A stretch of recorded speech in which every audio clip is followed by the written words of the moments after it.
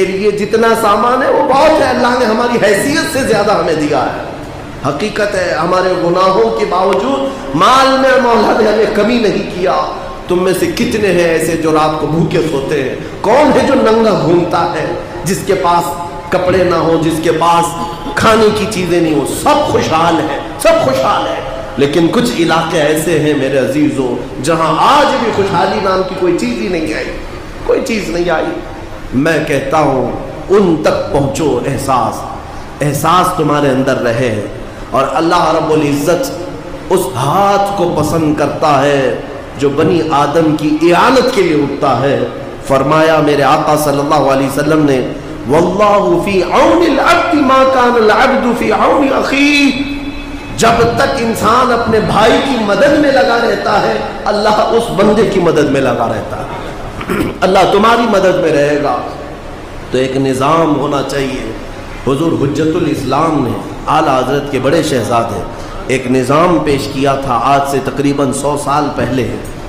उन्होंने एक निज़ाम पेश किया था हर इलाके में बैतुल माल का सिस्टम हो।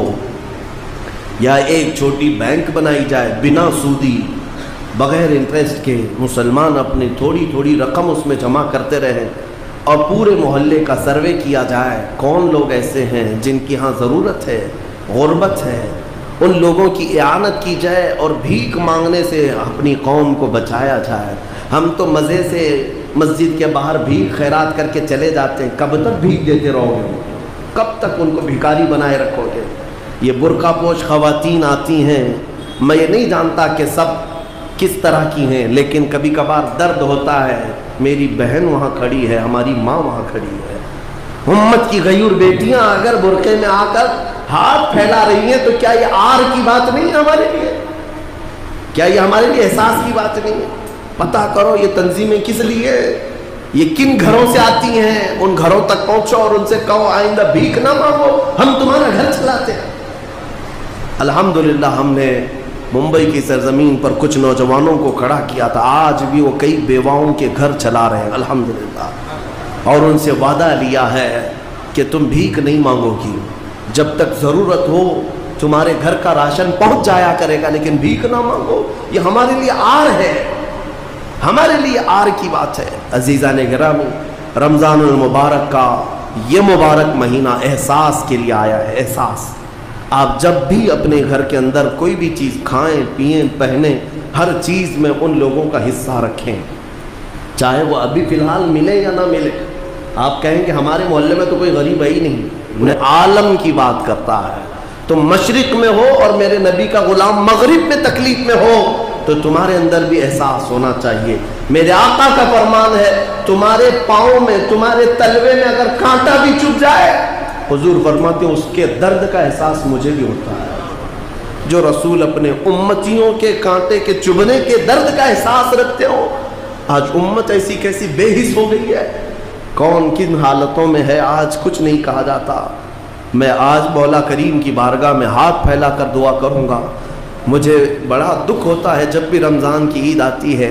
कभी हम यमन को याद करते हैं, इराक़ को याद करते हैं, शाम को याद करते हैं। फ़िलस्तीन को याद करते हैं, उनकी कोई ईद ही नहीं आती मेरे अजीज़ों उनकी कोई ईद ही नहीं आती पिछले साल भी मैंने एक हमारे ड्राइवर हैं, इराक़ में हैं। उन्होंने एक वीडियो वहाँ से भेजी थी। एक बच्ची जो हर साल ईद के मौके पर उसका मामूल है। ये हमारे साहब जो साथी हैं, वो कहने लगे, मैं तुमको वीडियो बनाकर भेजता हूँ। यहाँ पर अभी ये मामला कई घरों के साथ चल रहा है। कहा, क्या है? कहा, बच्चियाँ घर से निकलती हैं ईद के दिन। ना वो कपड़े पहनती हैं, ना ही ईद, बल्कि सीधे कब्रस्तान में अपने बाप की कब्र के पास बैठती हैं। सुबह से शाम होती है। वो पुकारती रहती हैं कि, बाबा जान, हमें कोई कपड़े आज नहीं पहनाएगा, तुम जा चुके हो। ये वो जवान लोग जो शहीद हुए हैं, उनकी बात कर रहा हूँ। एक पूरा का पूरा मैदान कब्रस्तान है वहाँ पर। चंद सालों पहले जहाँ बच्चे खेलते थे फुटबॉल, आज वो मैदान पूरा कब्र, कब्रों से भरा हुआ है, वहाँ बच्चियाँ पुकारती रहती हैं, ईद के दिन। दिल पसीज जाता है, कलेजा मुँह को आता है। हम किस अंदाज से आज उम्मत की खैर का ही की बात करते हैं? दर्द का एहसास हमें भी होना चाहिए। मेरे आका सल्लल्लाहु अलैहि वसल्लम जो रात रात हम गरीबों के लिए रोया करते थे आज उनकी उम्मत के दर्द का एहसास हम क्यों नहीं करते? मेरे अजीज़ों, अपने जीने में, अपने खाने पीने में उन लोगों का एहसास रखो। अच्छा पहनो, अल्लाह ने अगर दिया है अच्छा पहनो। अच्छा खाओ, मैं उसका मुखालिफ नहीं। अच्छा खाओ अच्छा पहनो, अच्छे से रहो। लेकिन अल्लाह ने जो तुम्हें माल दिया, उसमें उनका एहसास रखो। अल्लाह राज़ी हो जाएगा। मेरे मुस्तफ़ा राज़ी हो जाएँगे। और तुमने ज़िंदगी भर अगर उनका एहसास ही नहीं किया तो हुजूर की बारगाह में क़यामत के दिन जवाब देना होगा। जब हुजूर तुम्हें पकड़ कर पूछे क़यामत के दिन, तू तो अपने घर में ऐश के रोटियाँ उड़ था। मेरे महबूब यमन और शाम की बच्चियाँ मुर्दा खा रही थी। वो चमड़े खाने पर मजबूर थी। मेरे अजीज़ों, आज हमारी जितनी इस्तात है, हम उनकी मदद की कोशिश करते हैं, जहाँ से हो सकता है। मैं ये इसका इजहार आपके सामने नहीं कर रहा, लेकिन अल्हम्दुलिल्लाह जो इस्तात होती है, हम अपनी जानब से करते हैं। लेकिन मैं उम्मत को आज ये मैसेज देता हूँ, काश अगर सब इस बात पर जमा हो जाए, हमारी खुशी इसी बात पर है जिस बात पर मदीने के ताजदार खुश हो जाए। हमारी खुशी इस बात पर नहीं कि घर में मुर्गा बन गया, बकरा बन गया, हमारी खुशी इस बात पर है कि आमिना का लाल मुस्कुरा दिया, ये मेरी खुशी है।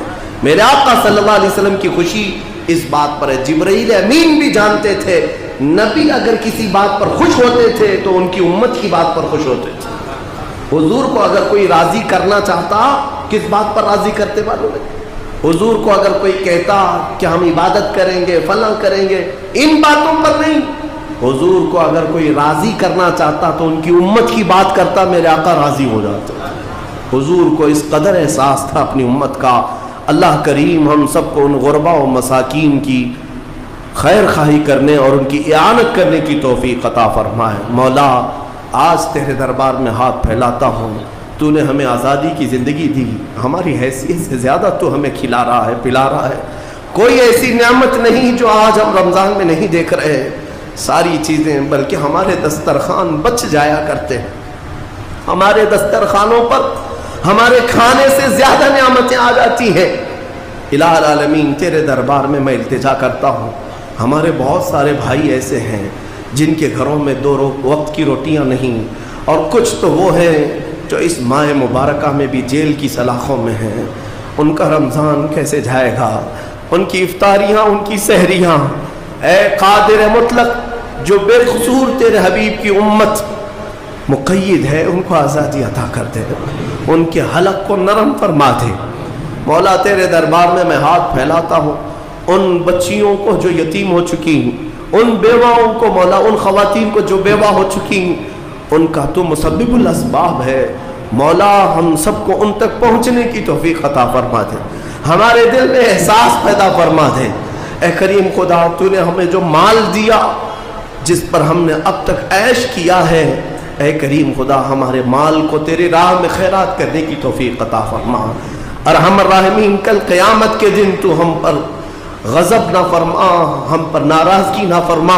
हमने जो कुछ भी किया है, आज तेरे दरबार में माफ़ी तलब करते, मौला हम सबको तू मुआफ़ फरमा दे।